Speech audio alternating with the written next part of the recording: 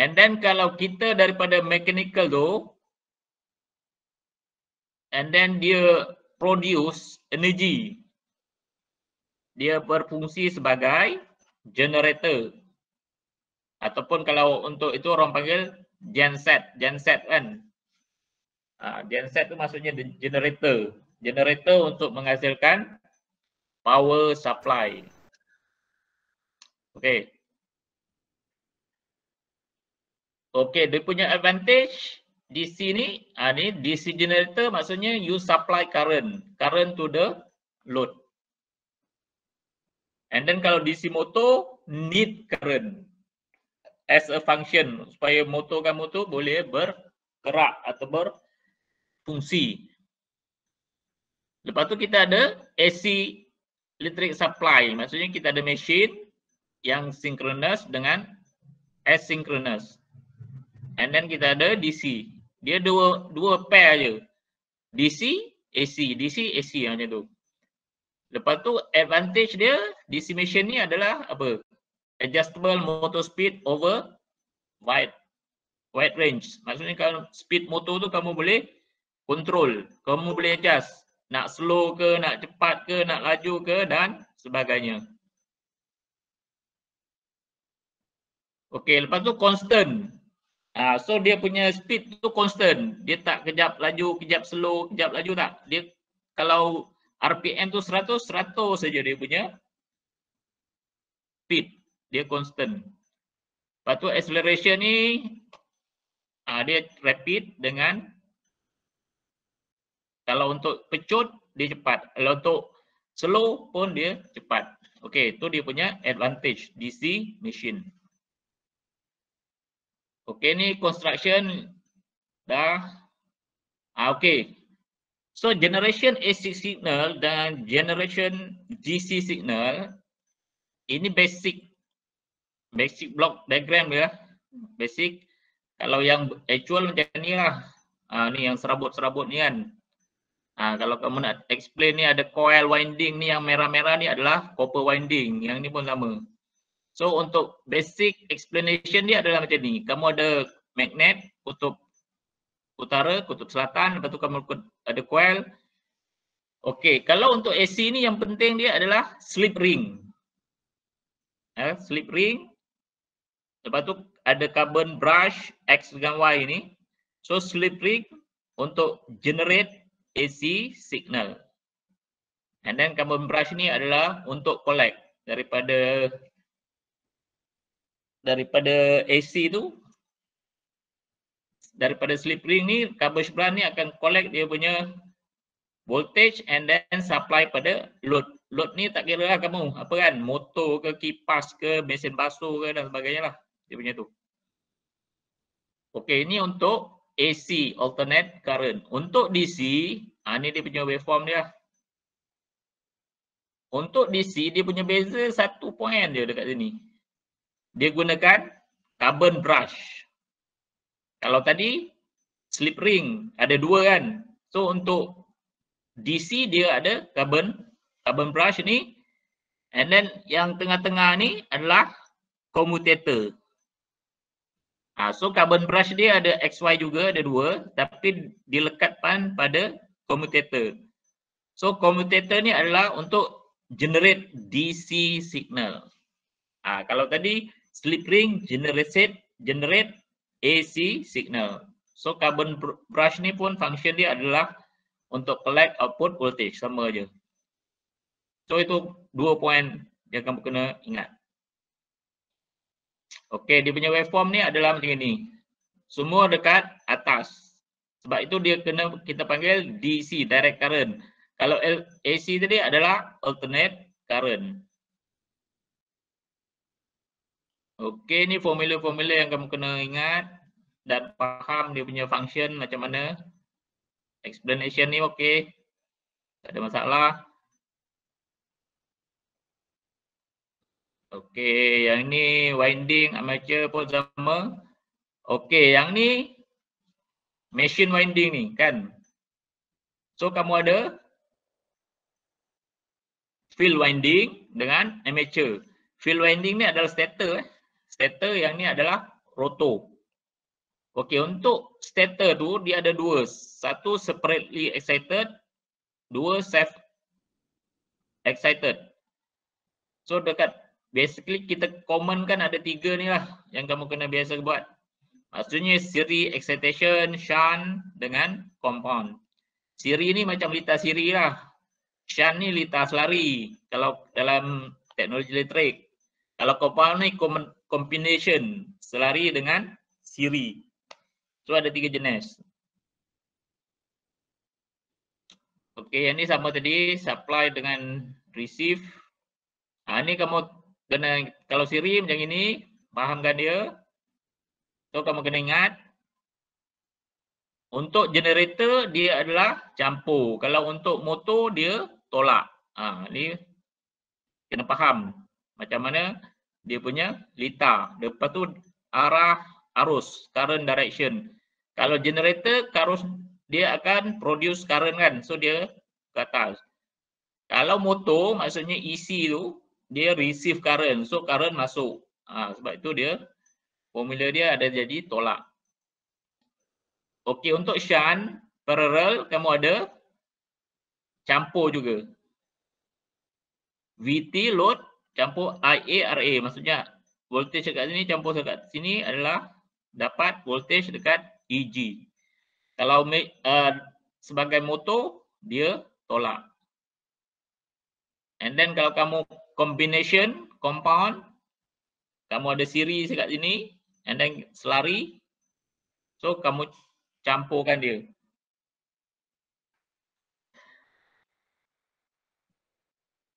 Okay, short form EG itu adalah generated electromagnetic force. Kalau EC itu counter electromagnetic force. Kalau dalam elektrik kita panggil voltage lah V kan. Tetapi kalau dengan dalam motor kita panggil E kan. Konsep dia sama. Okey, ha, ni power loss ni pun kamu kena faham dia punya tu. So contoh-contoh kamu boleh tengok lah sini. Ha, contoh. Cuma dekat yang ni, ni senang aja kan, direct soalan. Okey, kita lep, yang lepas sampai mana sini kan? Example 4 kan? Okey, untuk example 3 tu ada problem sikit. Ah ni. A short shunt compound generator kan? Basically short shunt ni kamu tak belajar. Yang kamu buat sekarang ni adalah long shunt. Long shunt eh dia punya tu. So ini kamu tukar. A short shunt tu tukar pada soalan dia adalah a DC compound generator. A DC. Short shunt tu buang. Sebab kalau short shunt dia punya gambar tu dah lain. 200 ni dia akan ke sini. Ha, 8 tu akan ke sana. So cara penyelesaian penyelesaian dia adalah berbeza. So kita akan fokus pada long shunt ataupun ADC compound generator lah ataupun ADC compound mot motor, machine, motor. Ha, so kamu kena betulkan dekat situ lah.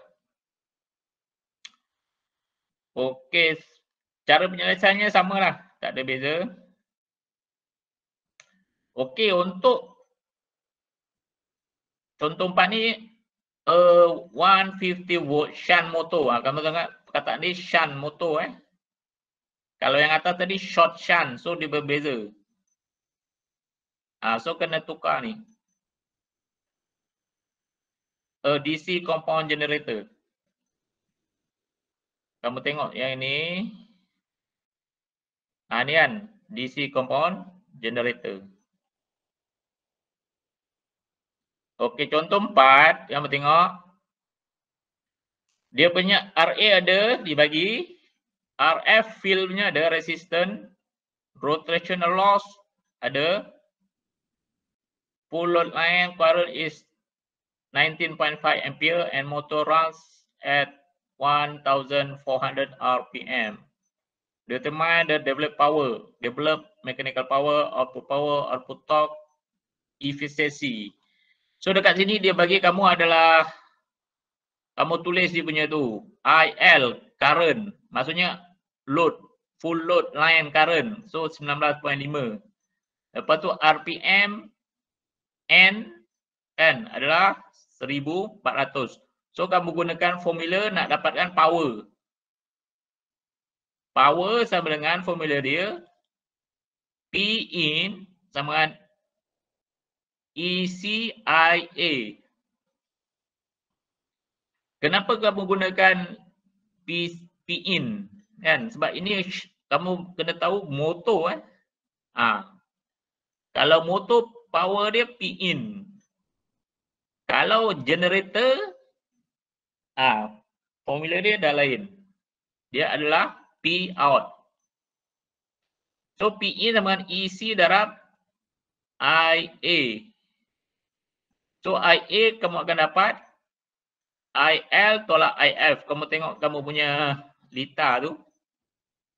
Untuk motor yang sini kan. Kamu first kamu kena lukis lah. Baru senang. Dia shunt. Shunt machine kan. Ha yang ni. EC, VT, IA tolak RA.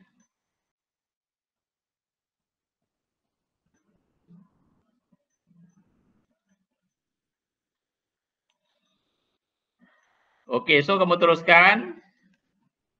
Sekarang nak dapat IF. Maksudnya I feel kamu sekarang berapa? So VT bagi dengan RF. So 150. RF kamu adalah 150. Kamu tengok ni. RF kamu ni 150. So kamu dapat 1. So IA adalah IL tolak IF. Kan so IS tolak IF so kamu dapat IA berapa? 18.5 ampere. So sekarang EC kamu adalah VT tolak IA RA so kamu masukkan nilai dia 150 tolak 18.5 0.5 kamu dapat 140 points. So power formula dia tadi P in EC darab IA. So kamu dapat EC ni 140, IA kamu dah ada tadi.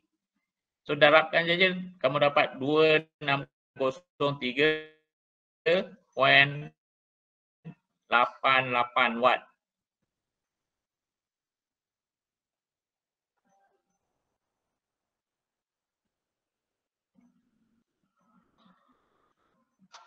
Okey, yang ni kan, kamu guna yang ni kan. Shunt machine.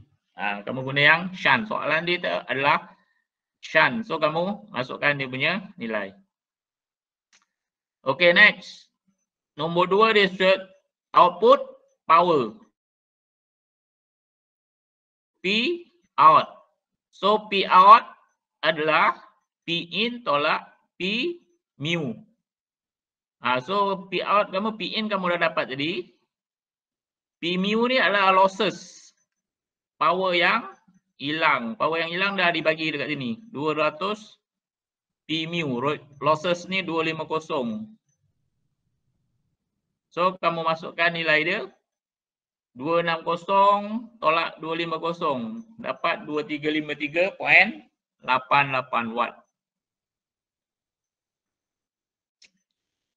Okey. So lepas tu dia suruh cari torque.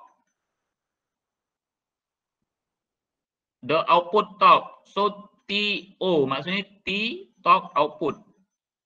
So kamu masukkan dalam formula dia.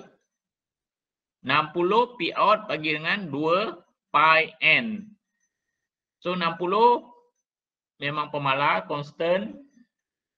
Power out kamu dah dapat ni 253 2353.88 2 pi n. n bagi 4. n dah bagi 1400 rpm. So kamu just masukkan dia punya value.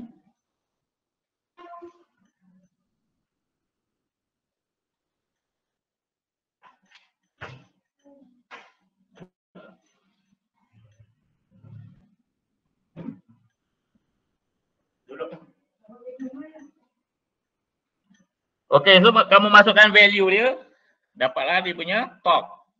Torque unit dia adalah Newton meter eh, torque. Okey, sekarang kamu nak cari efisiensi kecekapan dia. So bagilah P out dengan P in. So P out kamu dah cari tadi. Lepas tu P in kamu adalah VT IL. So 150 darab 19.5. Dapatlah 80.47%. So memang dia cekap lah sebab dia above 80%. So kalau 80 and above, kira kamu punya mesin tu adalah cekap. Kalau 70, ha, itu dia masalah lah. Tak cekap. Okey, ada persoalan chapter 1? Ada pertanyaan? Ada persoalan chapter 1? Uh, uh, sir, yang tadi yang EG tu kan, yang apa ni generator EMF tu. Ah. Ha uh, unit dia apa? Voltan eh? Volt lah, V. Unit volt. Oh, okey. Uh, dia kalau dalam elektrik, elektronik, kita ni EG ni V lah, voltage. Ha, tetapi dalam motor, dalam motor sebab yang generate tu motor tu dalam bentuk pemotongan magnetic field. Ha, terus sebab itu gunakan E power sama lah, power sama, current, I sama, ha, macam tu lah. Okay, so tutorial ni kamu try buat lah. Ha, basically sama aja dengan contoh-contoh tu. Cuma kamu nak mahirkan macam ni sama kan, compound. Ha, kalau compound, dia adalah combination. Armature resistance RA, field resistance RF. Shunt field resistance 100. Ha, so kamu buatlah dia punya tu tutorial ni. Okay, so kita habis chapter 1. Kita akan masuk chapter chapter 2. Sekejap saya buka chapter 2.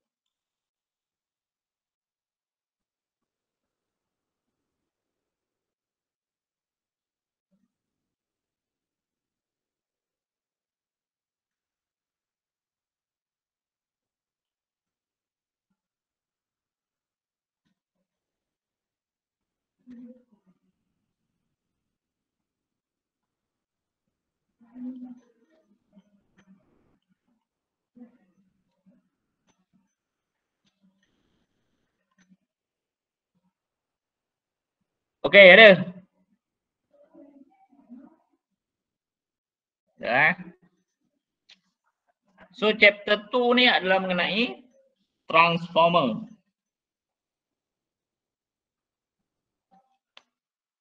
Okey. Apa itu transformer? So pengenalan dia Transformer allow voltage level to be changed throughout the electrical distribution system so that most economical voltage can be used in each part of system. So transformer ni berfungsi sebagai uh, pelaras voltage adjustable. Maksudnya kita nak increase voltage ke, nak drop voltage ke. Contoh 100 volt kita nak drop pada 80 volt ataupun 100 volt kita nak up jadi 240 so itu adalah function transformer okay generator are limited to about 25 kilovolt due to the size of insulation required but transmission losses at 25 kilovolt would be unacceptable ah so maksudnya kalau generator tu boleh menghasilkan 225 kV voltage generator tadi kan. Boleh produce 200, 200 eh 225,000 volt. Ha. Tetapi dia memerlukan insulation ataupun penebat yang besar. So dia punya loss pun 25 kilo. So ini tak boleh terima lah. You produce 25 kV and then you lost 25 kV. So kita akan gunakan voltage a step up for transmission. Maksudnya kita akan gunakan voltage. So generator ni akan produce voltage and then kita step up gunakan transformer.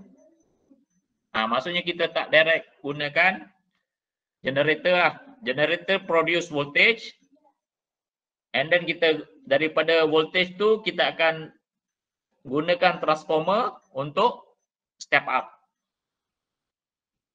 Kita tak direct supply gunakan generator terus kepada load. Tak, kita akan gunakan transformer. Okay, transformer allow the voltage level to be changed to the most economical level.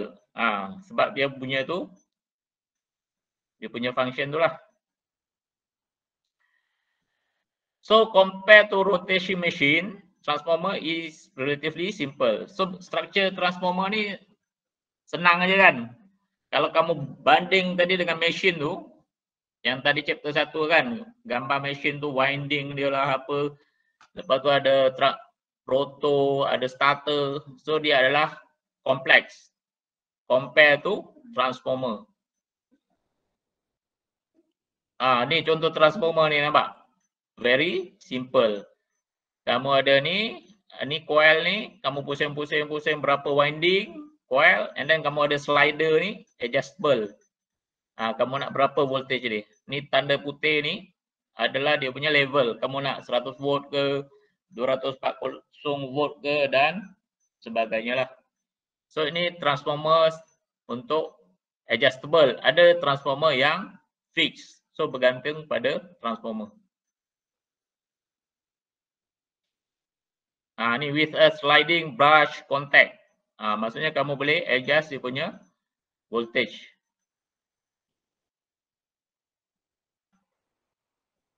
Ah ini adalah construction very simple. Kan? Kamu just ada magnet. And then kamu ada iron core, lepas tu kamu ada coil. NP ni kamu punya winding at primary, NS ni winding dekat secondary. N tu maksudnya jumlah lilitan, berapa banyak kamu gulung ni. Ataupun winding lah. Ha, so dia punya transformer core dia macam ni. Lepas tu kamu pusingkan kamu punya copper wire tu ikut dia punya winding ni. Pusing berapa banyak. So kamu ada basically ada dua lah. Primary and then secondary. So dekat sini ada flux magnet. Ha, so nanti kamu tengok macam mana dia punya tu. Okey ni dalam bentuk ayat lah. Yang ini dalam bentuk diagram. Biasa kalau kamu susah nak bentuk ayat, kamu lukis dulu diagram dia ni, blok ni, lepas tu baru kamu buat ayat. Dia cakap ini consists of two or more electrical winding that are linked together by a magnetic field. Maksudnya kamu tengok, two or more electrical winding. Ha, so ini adalah winding dia lah, primary winding, secondary winding. Okay, lepas tu except for special purpose transformer, the coupling is enhanced with a ferromagnetic core. Ha, ini yang special transformer lah. Bergantung dia punya purpose. Okay, bila kamu apply AC voltage dekat primary ni, kamu bekalkan voltage. So ada magnetic flux. Ada medan magnet. So dekat sini kan kamu bekalkan voltage VP ni. VP tu maksudnya voltage primary. And then kamu ada current masuk IP. So dia akan generate magnetic flux. V. V dekat sini.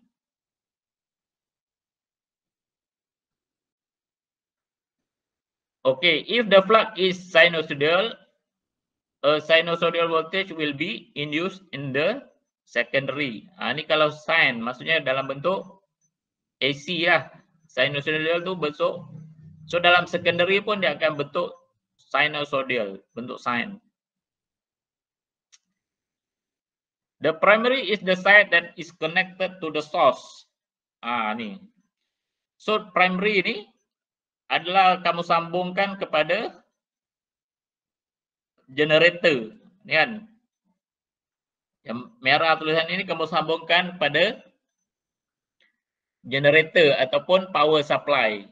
Ah generator ni kalau kamu terbang kan macam dekat Paka Lepas tu yang dekat Sarawak tu empangan bakun tu kan. Ha, macam itulah dia punya function. Either side maybe the high voltage or low voltage. So bergantung.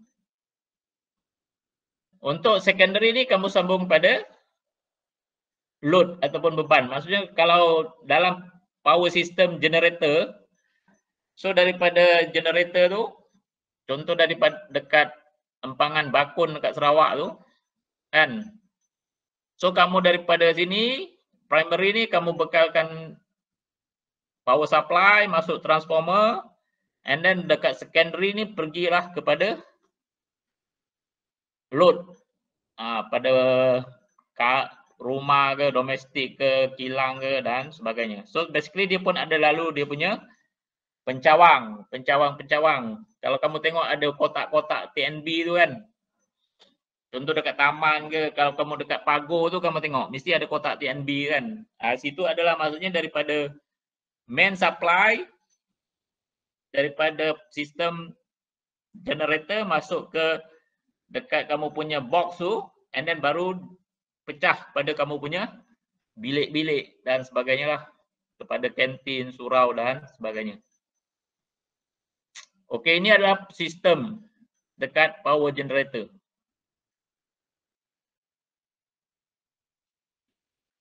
So dekat hydro station kita gunakan step up transformer. Sebab apa step up? Kan sebab tadi kamu dah ada tu katakan kamu produce 25 kV and then kamu kena upkan dia punya voltage. Berapa dia punya kV? Okey, da dalam membuat magnet ni, kamu ada core material tadi kan? Ni, iron core ni kan? Ha, so core ni, dia punya explanation adalah the core construct of a high permeance, maksudnya low reluctant material to minimize the magnetizing current. Ha, so maksudnya low reluctant dia punya bahan tu. Lepas tu dia ada eddy current. Ha, ni special lah nama dia ni. Eddy current losses dekat transformer tu lah. The core is more made of lamination. The thickness of each is inversely proportional to the rated frequency of transformer. Ha, eddy current. Dalam transformer ni ada eddy current. Eddy current loss. Maksudnya kita ada current yang hilang. So untuk menghilangkan ni kita kena ada core tu ada lim, limitation, laminate. Ha, ada limit laminate. So eddy current ni losses ni adalah berkadar terus to the lamination thickness square. Uh, those having the thickness would reduce the eddy current losses by 20 5%. So eddy current ni kita, kita kena prevent supaya jangan banyak loss lah eddy current. Ha, ni kamu tengok transformer dekat tiang ni kan. Transformer tu. Ini semua transformer besar-besar eh, dalam sistem power generator. Bukan transformer yang macam kamu dekat lab tu. Itu semua kecil-kecil kan. Untuk DC punya semua kecil. 12 volt, uh, 9 volt, 20 volt semua kecil, kecil. Tetapi kalau untuk sistem power, power plant punya transformer ni semua besar-besar dia punya structure. So dia ada kalau macam ni ada three phase. Ha, macam mana kamu nak tahu three phase? Biasa kalau three phase dia ada tiga lah. Tiga ni, kamu tengok ni ada pole ni. Satu, dua, tiga. Maksudnya kalau itu adalah biru, kuning, hijau. Kalau dalam wiring kamu tu kan, eh biru, kuning apa lagi tu merah kan kalau kamu ingat buat lab wiring tu ada yang tiga fasa tu kan so konsep dia sama Okay, so core configuration ni yang tadi bahan dia lepas tu dia punya configuration ni ada dua jenis untuk core ni. Yang pertama core type yang biasa lah, core type ni yang biasa. Yang kedua shell type. Okay, apa itu core type? Core type ni they are winding on each leg of the core. Ha, setiap kaki tu kita buat winding. Kalau shell type, the winding are on the center leg ah, of the core and the core surround the winding. Kamu tengok beza dia ni. Yang satu ni, satu ni adalah yang belah kiri itu adalah bentuk core kan. Maksudnya kamu tengah-tengah core ni kamu windingkan dia kiri kanan. Tetapi kalau yang lagi satu yang bentuk shell ni, kamu winding kat tengah kaki dia dekat tengah-tengah. Ha, kalau core ni, kiri kanan kamu winding ni, ni yang putih ni adalah kamu punya winding, yang tengah-tengah ni adalah core. Kalau bentuk shell, yang ni core ni, kamu winding dekat kaki. Okey, itu dia dua jenis. Lepas tu kamu ada konduktor. Tadi adalah dia punya core. Konduktor kamu winding tu apa? Kamu gunakan biasa winding tu gunakan copper, copper wire. Sebab apa kita gunakan copper wire? Dia adalah best conductivity and therefore the minimum volume for the coil. Copper ni adalah conductivity yang bagus. Aluminium pun digunakan juga untuk reduce cost. Ha, aluminium ni murah. Kalau copper ni mahal. Sebab itu kalau dulu ada yang curi apa, kabel-kabel, telefon kan ataupun kabel elektrik. Ha, so dia jual copper tu. Copper tu satu kilo berapa? Tujuh ringgit, lapan ringgit macam gitu lah. Dia punya harga. So konduktor ni biasa kini kita akan gunakan copper. Lepas tu konduktor ni must carry current without overheating. Ha, kan? Maksudnya current tu bila lalu dekat konduktor tu dia tak panas. Ha, kalau panas lama-lama bahaya juga takut short circuit. Okay, konduktor ni basically biasanya round lah. Square or rectangular and then we have several conductor in parallel to reduce the uh, power losses lah. I square to R ni power. So basically kalau konduktor ni biasa, biasa ni kalau wire tu bentuk round. Tapi yang square pun ada juga lah. Okay. Ah, operating temperature of the coil is extremely important because the insulation may deteriorate at increase of temperature and the resistance of the coil is also increased with the temperature. Ah, maksudnya kalau panas kan, kamu punya insulation tu, kamu punya tu akan macam getah kan. Bila panas dia akan mudah rapuh dan sebagainya. Lepas tu bila panas juga, temperature tinggi, resistant pada kamu punya coil tu akan tinggi. Ah ni kamu tengok ni, contoh transformer. Ini dekat luar ni casing dia ni adalah heat sink eh. Ini ada orang belah lah ni transformer ni kan. Belah yang luar-luar ni semua heatsink supaya dia tidak panas. Kan? Supaya tidak panas and then yang warna dalam tu adalah copper kamu tadi. Copper wire tu kan, konduktor. Konduktor kamu lilit-lilit-lilit. So dia ada three phase. Maksudnya yang ni satu pole, Yang tengah ni satu pole lagi, yang ujung lagi satu pole. So three phase maksudnya tiga fasa. So ini adalah transformer. So untuk transformer yang dekat power generation ni semua yang jenis besar-besar lah. Kamu rasa tak pernah tengok kan? Besar-besar ni kan?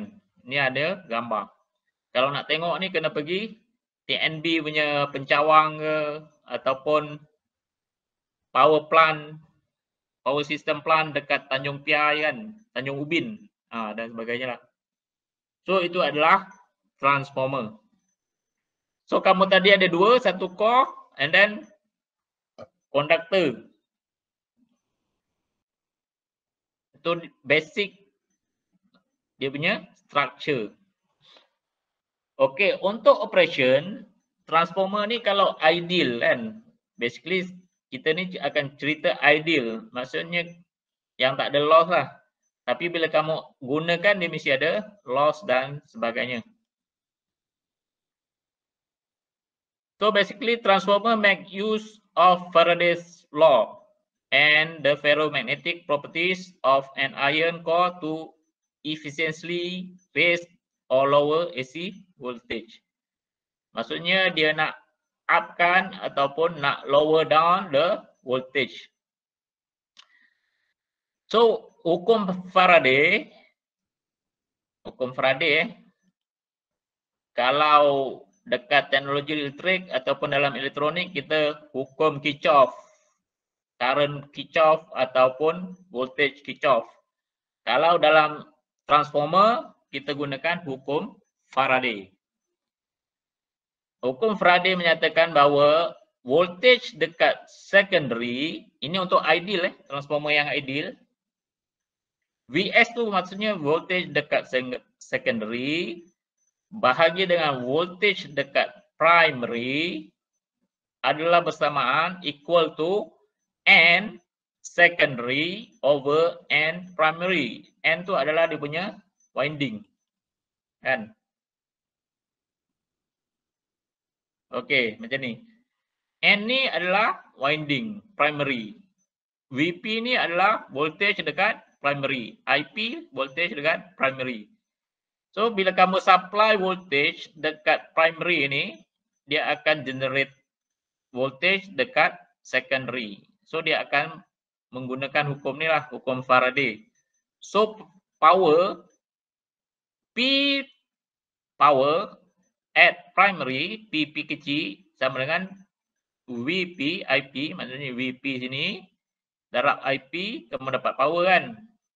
So adalah equal with V supply, V secondary and I secondary. So sama dengan P secondary. Ah, so kamu kena ingat lah dia punya formula ni. So result VS, VP sama dengan NS, NP. Ha, ni dia punya formula yang kamu kena ingat.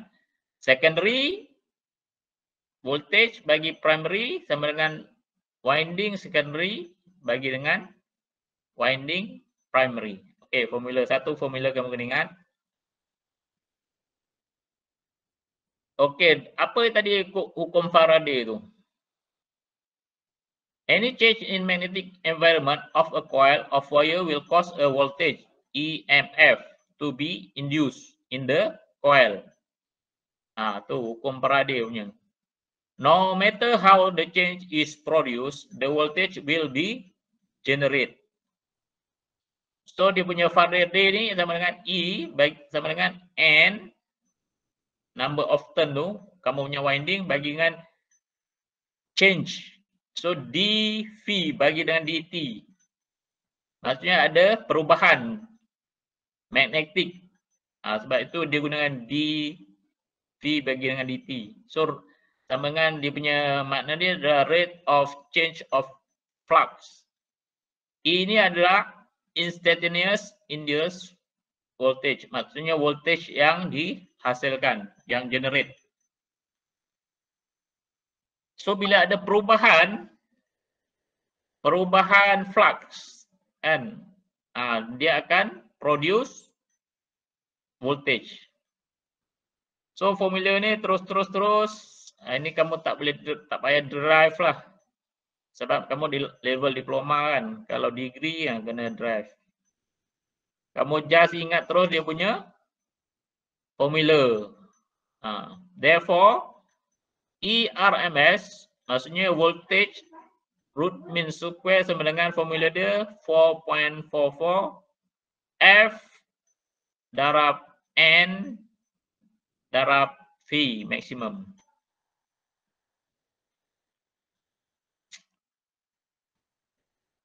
Okay, so untuk voltage for an ideal transformer, all the flux is confined to the iron core and those linked with both the primary and secondary. Therefore, E itu voltage, EP dengan 4.44 Fn primary, lepas tu E secondary.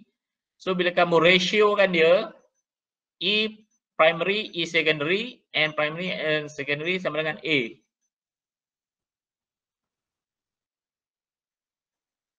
Basically ni sama lah. Primary dengan 1, E2, N1, N2 sama. Primary tu sama dengan E1. Secondary dengan E2. Ha, satu tu maksudnya primary. Dua tu untuk secondary. A tu adalah dia punya ratio. Maksudnya kamu bagikan je lah. Okey, ada faham sekat ni? Sir. Ya. Yeah. Induce tu macam mana? Induce maksudnya voltage yang dihasilkan lah. Bila kamu ada flux magnet, perubahan tu kan. Kat sini kan. Ha ni. Ha, bila ada perubahan flux magnet sini, voltage akan dihasilkan kat sini. Secondary. Maksudnya terhasil lah? Ha, terhasil. Induce. Induce tu terhasil. Bila ada perubahan perubahan magnetik ni kan, magnetic field tu ada perubahan, So dia akan terhasil voltage. Okay sir. Terima kasih sir. Okay, so formula-formula ni yang kena ingat ni lah tadi. Formula ni simple je. Okay, description dia apa itu A tu kan. A transformer is called step down. Ah, step down if the primary side has more turn. Maksudnya N1 ni kan. N1 ni katakan 100 dia kamu pusing lilitan dia. N2 ni kamu 50. So 100 bagi 50 dapat A2 kan. So kalau macam itu condition dia, dia adalah step down. Maksudnya A lebih besar daripada 1. Kamu lilit dekat sini, N ni kan, kamu tengok ni. Ha ni kan, primary ni, N tu, sini 100. 100 kali pusing ni, lilit, lilit, lilit. Untuk secondary ni, kamu lilit 50. So, NP bagi NS, 100 bagi 50, kamu dapat 2. So, bila 2 tu, A tu lebih besar daripada 1, maksudnya dia adalah step down. Tetapi bila kamu step up, maksudnya primary set has fewer turn than secondary. Maksudnya kalau dekat primary tu 50, terbalik pula, and then dekat secondary 100. So kamu dapat 50 bagi dengan 100 kan, 0.5. So A tu 0.5, maksudnya lebih kecil daripada 1. Maka ia adalah step up transformer. Ha. So kalau kamu nak design transformer, nak buat step up, So kamu kena sini 50 pusingan. Nak jadi step up sini 100 ke, 200 ke, 300. So bergantung pada calculation kamu lah. Nak design. Itu adalah konsep asal dia. So sebab itu dalam power power system, power generation system kan, kamu nak step up. Ha, so coil dekat pusing dekat primary ni sikit lah kamu nak step up dekat secondary ni kamu banyakkan dia punya lilitan tu. Copper wire tu kamu banyakkan dia punya lilitan. Okey. So itu untuk dia punya itu voltage. So untuk current Ah, current because the losses are zero in ideal. Maksudnya tak ada loss. So power in and out adalah sama. Maksudnya voltage VP dekat in primary sama dengan power dekat secondary. Maksudnya kamu supplykan power dekat primary tu 100. Tak ada loss kan? So dekat secondary tu pun akan receive 100 lah. Ideal transformer. So dia tak ada loss. So therefore kamu pusing-pusingkan ni IP, IS, VS, ni kamu pusingkan dapatlah formula ni. Dia terbalik kan. Kalau IP dengan VS dengan SS ni terbalik. Kamu tengok ni. IP atas, VS atas, NS atas. Ha, lepas tu IS bawah, VP bawah, NP bawah. Sebab dia adalah berkadar songsang kan. Voltage dengan current tu akan berkadar songsang lah. Inverse, ah ada pun cakap inverse. The ratio of the current is the inverse of the voltage. Ah sebab itu dia berbeza. Inverse maksudnya berkadar songsang. If we raise the voltage level to the load, maksudnya dekat load tu kita increase voltage, the secondary current drawn drawn by the load. Uh, so current akan menurun. Uh, sebab itu kita jadi adalah inverse. Voltage dengan current adalah inverse.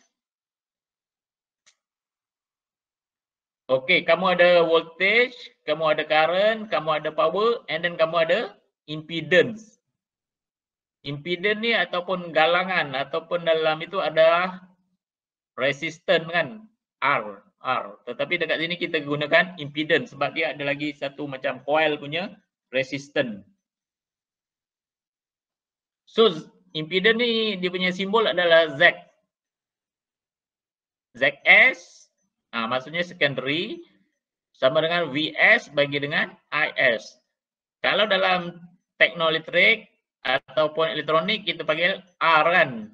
R sama dengan V over I. Tetapi dalam transformer dia panggil impedance sebab dia ada magnetic punya resistance. Okey, so kita masukkan hukum law tadi.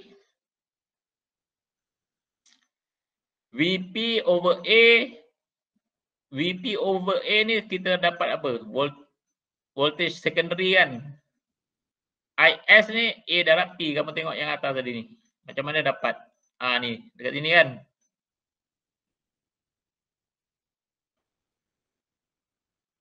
Dari sini kamu pusing-pusing kamu dapat ni lah. Ha ni.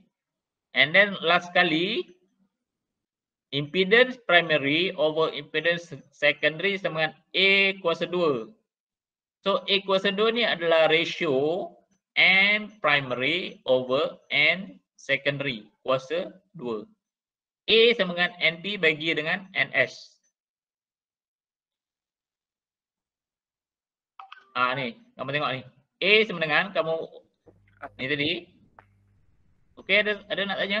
Uh, kan VP per A tu kan? Dia bersama ha. dengan VS lah kiranya kan? Sebab kalau songsangan VS per VP sama dengan 1 per A. Ya betul. Oh. VP over A ni adalah VS. Maksudnya digantikan sini. VP over IS ni adalah A darab IP. IS kan ni kan? IS kamu naik atas jadi di sini atas A naik darab AP. So macam gitu. Ha, sebab dia nak ringkaskan untuk dapat formula ni lah. Ha, macam ni. Okey, ini kamu ada voltage, kamu ada current, kamu ada impedance. Ha. So sama juga dalam elektronik, kamu ada current, ada voltage, ada resistant. Kalau itu resistant lah, dekat sini kita panggil impedance dalam transformer. Ah, dengan power. Soalan ni pun semua senang-senang je ni. Direct ambil formula. Okay.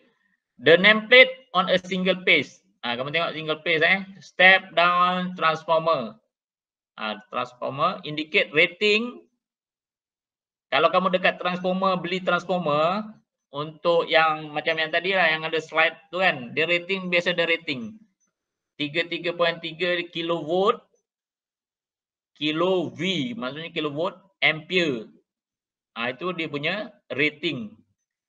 Lepas tu 7967 ni adalah voltage pada uh, primary in, voltage in. And then ni 120 ni adalah voltage secondary VS. So dia nak cari suruh find the current on the primary, suruh cari current dekat primary dengan secondary. So current sama dengan rated ni 33 kilovolt ni bagi dengan V secondary 120 maksudnya voltage dengan voltage kamu cancel kan so kamu dapat ampere je lah. So S kamu adalah 33.33 ni kilo volt bagi dengan untuk secondary 120 so kamu dapat current dia. Lepas tu kalau untuk primary pun sama.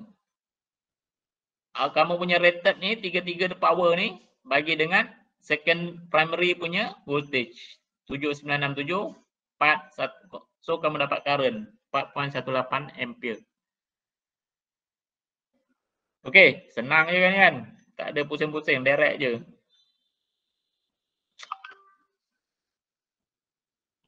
Okey, contoh dua pun sama. Contoh dua kamu ada ideal.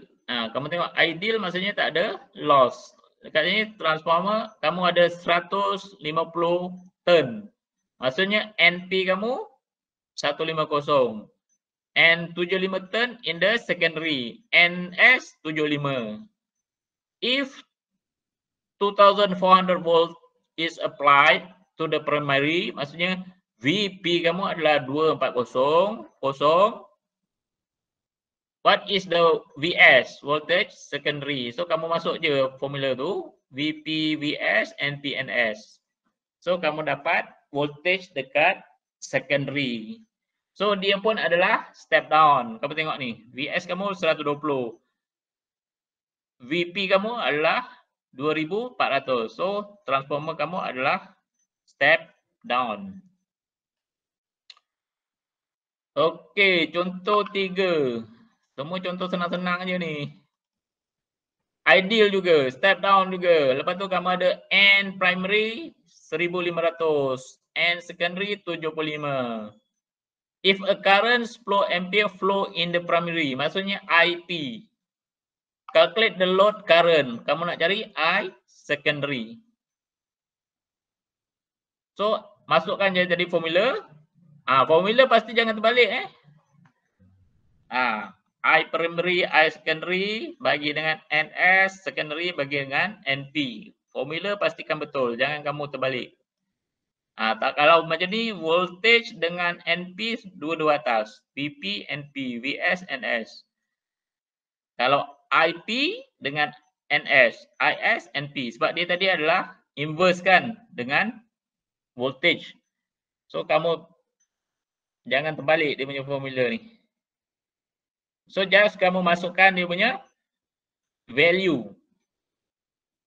Kamu pusing ke sini, I secondary, kamu rearrange lah dia punya tu formula ni.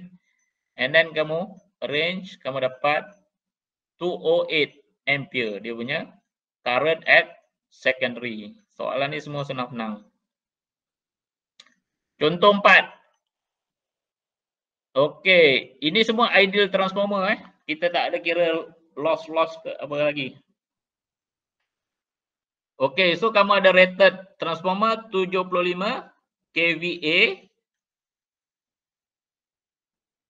Ini kira macam spek lah, transformer punya spek. Kan, kalau kamu beli transformer tu dia ada spek dia, so dia ada benda ni.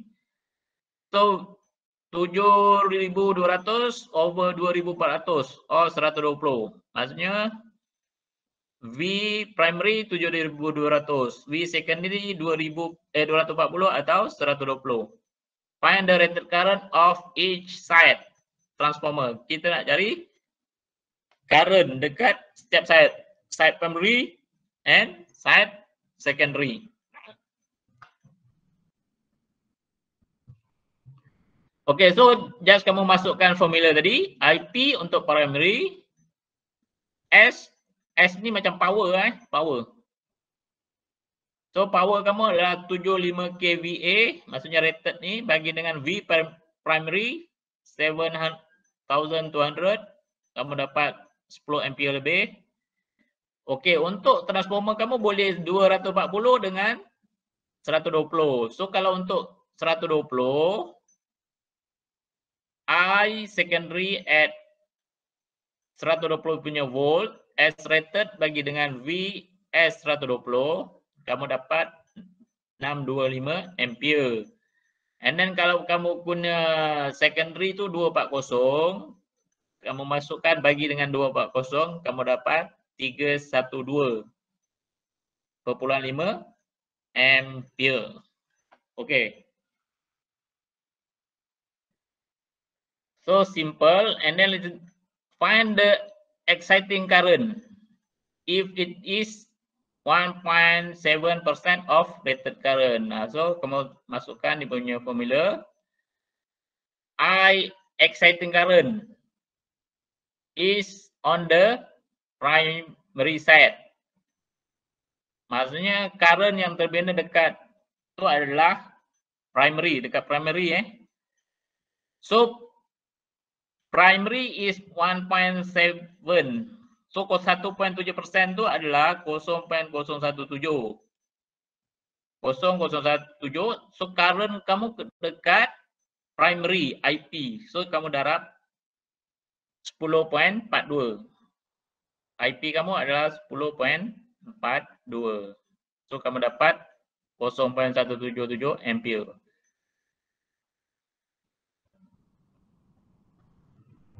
Ah, semua senang je. Okay, a transformer is rated 75 kVA. 7200 240 volt. A load having impedance. Ah, dia ada impedance Z N ataupun R lah ni 1.0 resistant. What is the current on each side? Okay, sekarang current each side I primary and secondary. So formula V sama dengan IR. So I secondary kamu adalah 240 ni 240 bagi dengan 1.0 dapat 240 ampere. So maksudnya dekat secondary. Okey, I primary. Okey. IP sama dengan IS kamu dah dapat.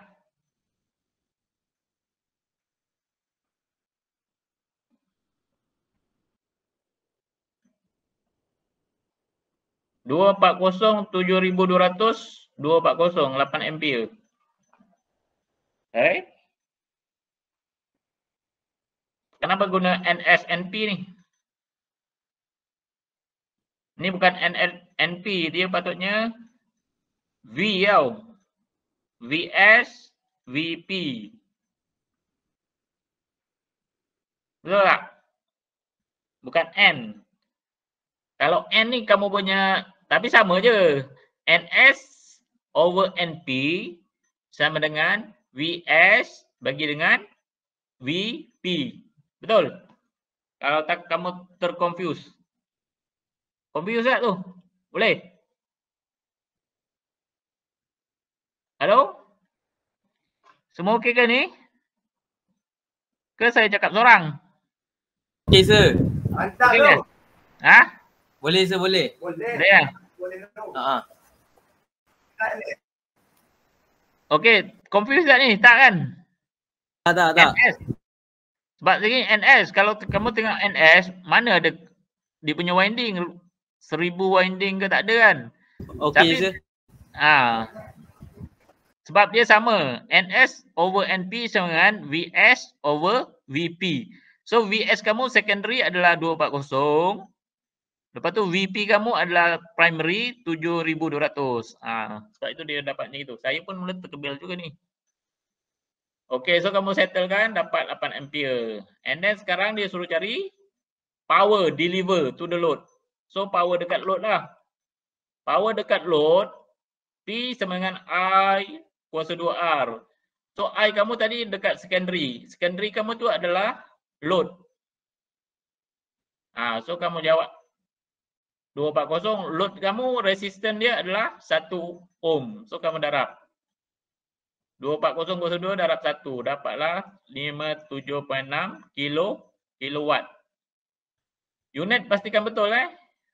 Kalau power watt, kalau current ampere, kalau voltage V volts.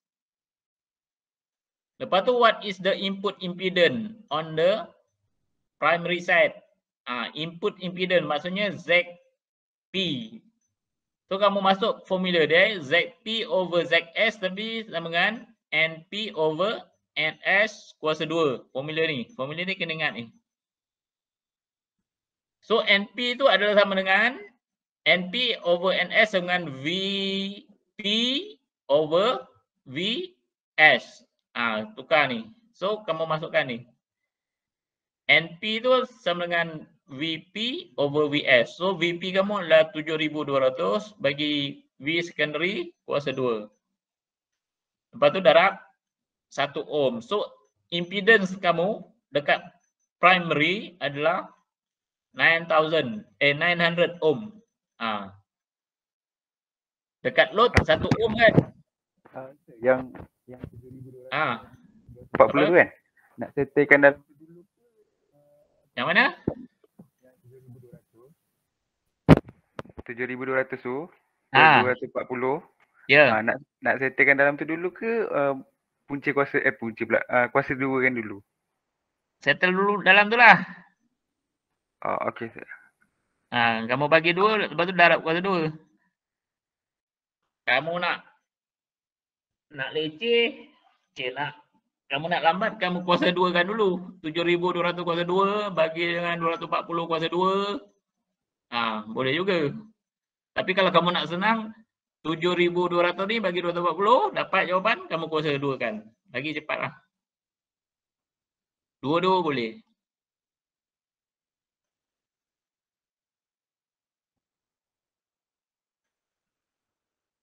Okey. So kita dah sampai page 25. Itu tadi semua ideal transformer eh. Ideal transformer. So untuk practical, ah ini practical. Maksudnya yang actual lah dalam real life. Ah kehidupan yang sebenar lah kan. Dia yang tadi tu semua cerita yang tak ada loss dan sebagainya. Tetapi kalau dalam cerita yang sebenarnya dia ada loss.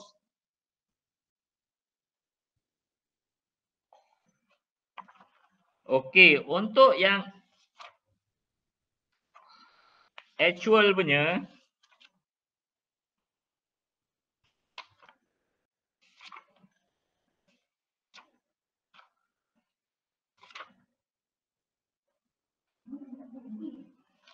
Sekejap eh. Sekejap.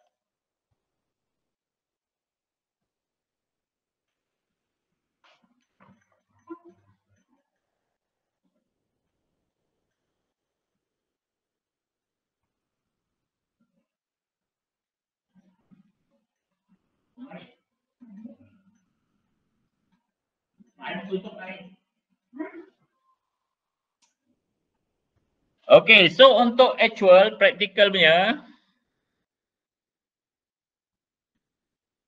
the equivalent circuit maksudnya yang practical eh actualnya all transformer have winding resistance. Ah, so kita kena kira winding. Lepas tu ada core finite permeability. Lepas tu kita ada leakage flux. Lepas tu kita ada hysteresis and then kita ada current losses. And then ada Ni semua adalah non-ideal.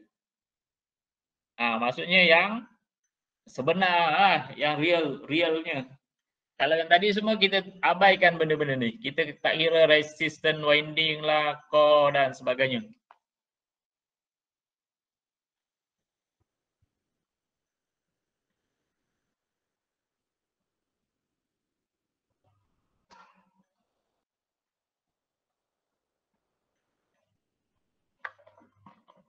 Okay.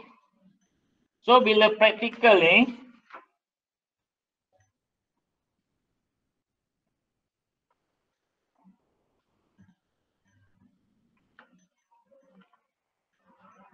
Sekejap eh.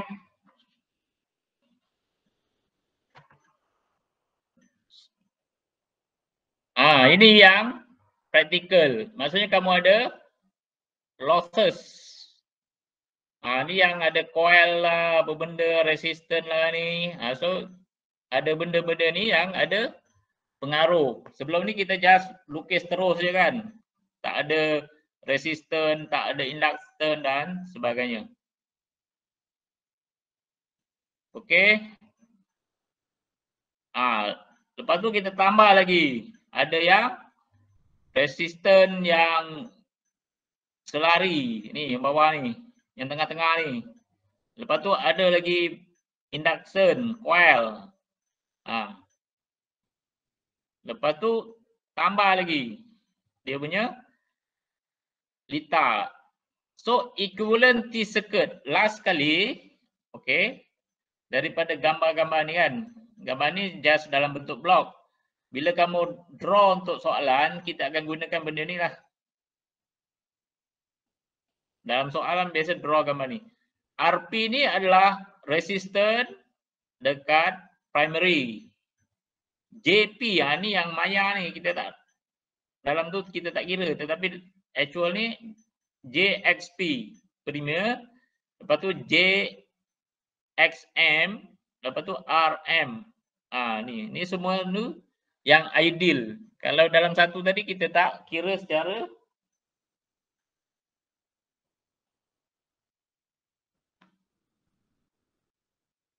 And then kamu ada ratio tadi A nisbah satu dapat tu dekat secondary kamu ada JXS dengan RS.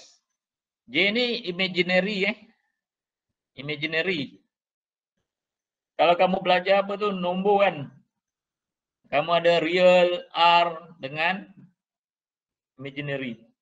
Lepas tu kamu ada resistant sekunder. Ni basically transformer lah. Equivalent T circuit. Transformer circuit. Okay, next. Okay, ini kalau kamu refer pada primary. Ha, dia tambah lagi ni. Yang ni tadi XP, JXP, XM, RM, kamu dia tambah lagi. JXX, prosthepi. Sama dengan A kuasa 2, JXS. Maksudnya ini adalah secondary punya tu. Lepas tu RS, secondary punya. A kuasa 2, darab RS. Ratio ni sebab satu. Ratio ni maksudnya kamu punya winding tadi lah. Ni sebab dia. So dia settlekan punya untuk secondary pun sama. Secondary RS, JXS ni, JXM, RM. Lepas tu kamu RP pula. RP ada prosthepi kan atas tu. So formula dia adalah RP bagi A square. Kalau yang ini tadi adalah RS. Maksudnya image kepada secondary. Tetapi kalau untuk secondary, dia gunakan RP. Lepas tu untuk JXP, ada tu koma atas tu. Namakan JXP bagi dengan A kuasa 2. So itu adalah secondary, primary dengan secondary.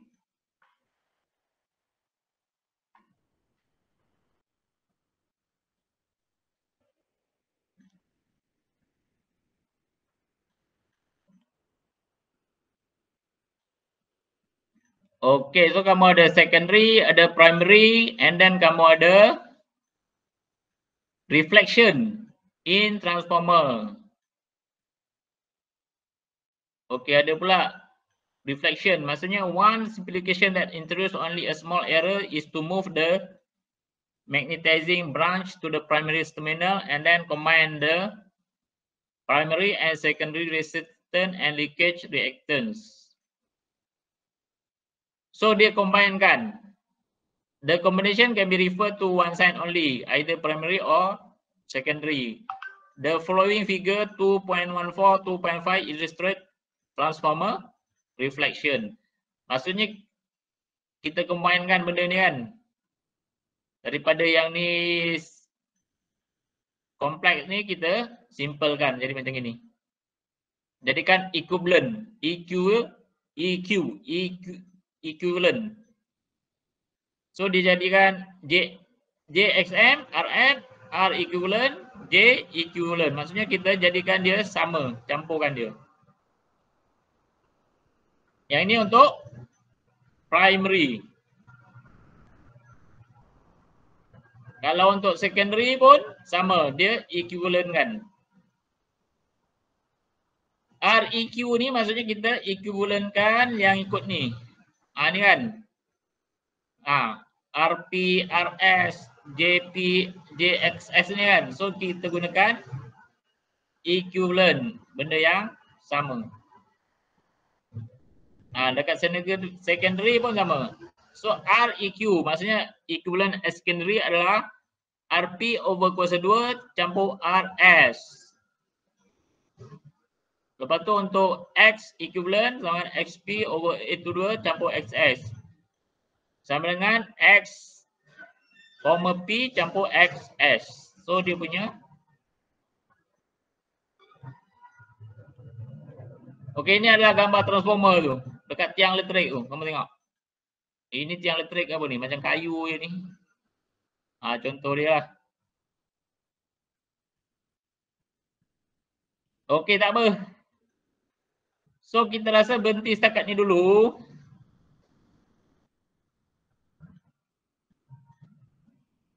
Kan? Maksudnya kan ni pun dah pening juga ni. Ada XPJP kan? Betul sir. Kan? Dah Ya, serabut dah. betul. Kan? ada imaginary lah, ada kan? XP, XP pun. Ha, kalau yang atas tadi senang. IP, NS, NP tu senang. Bawah tu dah confuse sikit. Okey, tahu tak apa, kita berhenti setakat tu. InsyaAllah kita akan sambung pada minggu hadapan. Okey, minggu hadapan kita ada lab eh. Start minggu lab hadapan. Minggu ni tak ada lagi. Okey, ada persoalan, ada pertanyaan? Ah, setakat ni tak ada sir. Tak Alhamdulillah. Okey, tak ada. Okey, so kalau ikut attendance ni semua datang, maksudnya saya tick lah. Kamu masuk saya tick, kamu masuk saya tick. Tapi untuk official pun saya akan guna, hantar Google Form. So kamu isilah Google Form tu. Sebab tak ramai kan, kamu ada 26 je. Kalau lagi section combine tu 50 lebih. Banyak Eh, juga nak tick tu. Nak check satu-satu kan. Kalau 20 lebih ni senang je. Kamu masuk je, nama keluar saya tick. Nama keluar saya tick. Tapi saya akan juga untuk Google Form supaya kamu hantar attendance. Okay. So dek, saya ada buat quiz dekat outer under assessment. Quiz satu. Soalan senang je. So kamu dia akan start 10.30 sampai 11.30. So maksudnya kamu buat nanti dalam 10.30 dia akan appear dekat kamu punya outer tu. Kamu tengok nanti. And then kamu jawab lah. Lepas tu kamu upload dekat quiz tu. Okay. Baik sir. Okay. Ada lagi? Ani- Apa-apa nanti saya akan update lah. Okay, so kamu standby untuk quiz. Okay, so kita tutup kelas dengan tasbih kebara dan surah wal-as.